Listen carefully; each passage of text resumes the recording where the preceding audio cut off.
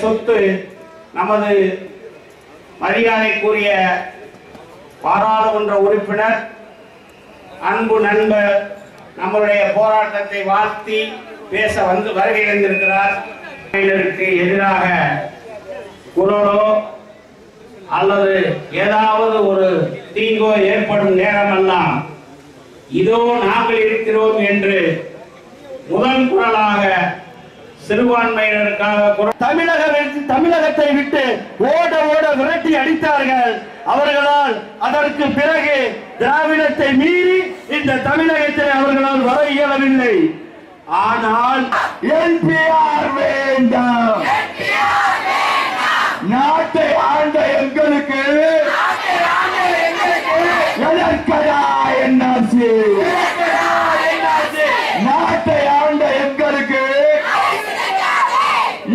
நாட்டை சிதைக்காது.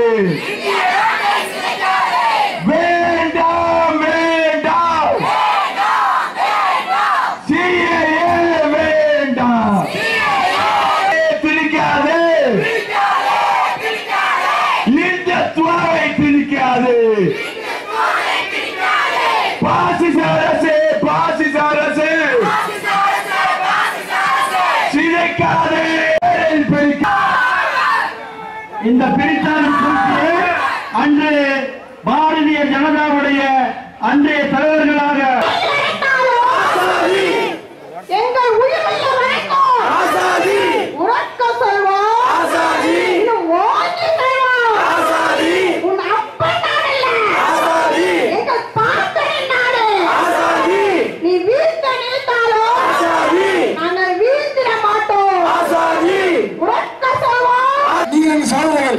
கல்ல பெண்கள் கோஷம் பண்ண போறாங்க. சத்தமா கோஷம் பண்ணலாமா போர் இன்ஷால்லா கோஷம் பண்ணுங்க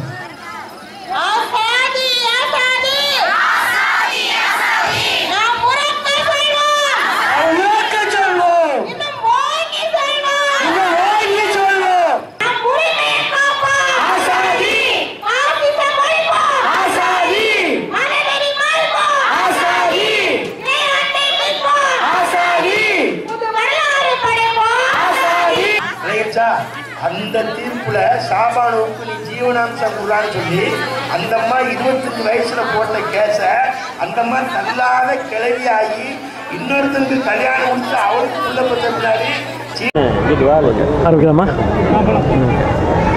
குடியுரிமை திருத்த சட்டத்துக்கு எதிராக மதுரையினுடைய ஐக்கிய ஜமாத் மற்றும் அனைத்து இயக்கங்கள் அரசியல் கட்சிகளின் சார்பில் இன்று துவங்கி பத்து நாட்கள் தொடர் உண்ணாநிலை போராட்டம் அறப்போராட்டம் என்பது நடக்க இருக்கிறது. இன்றைக்கு இந்த போராட்டம் என்பது அறவழியிலே துவங்குகிறது. மத்திய அரசு உடனடியாக குடியுரிமை திருத்தச் சட்டத்தை வாபஸ் பெற வேண்டும். மாநில அரசு உடனடியாக மாநில சட்டமன்றத்தில் இந்த சட்ட திருத்தத்துக்கு எதிராக தீர்மானம் நிறைவேற்ற வேண்டும் என்ற கோரிக்கையை வலியுறுத்தி இந்த உண்ணாநிலை அறப்போராட்டம் நடக்கிறது. கேரள மாநிலத்திலே சட்டமன்றத்திலே தீர்மானம் நிறைவேற்றப்பட்டிருக்கிறது.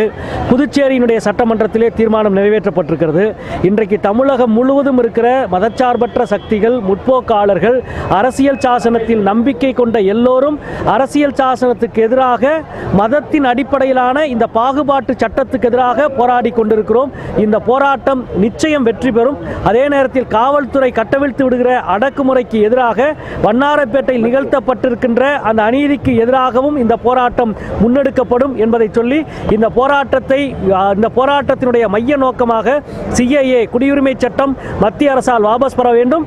மாநில சட்டமன்றத்திலே இந்த கூட்டத்தொடரிலேயே இந்த சட்டத்துக்கு எதிராக தீர்மானம் நிறைவேற்றப்பட வேண்டும் என்பதற்காக இந்த போராட்டம் இப்பொழுது துவங்குகிறது.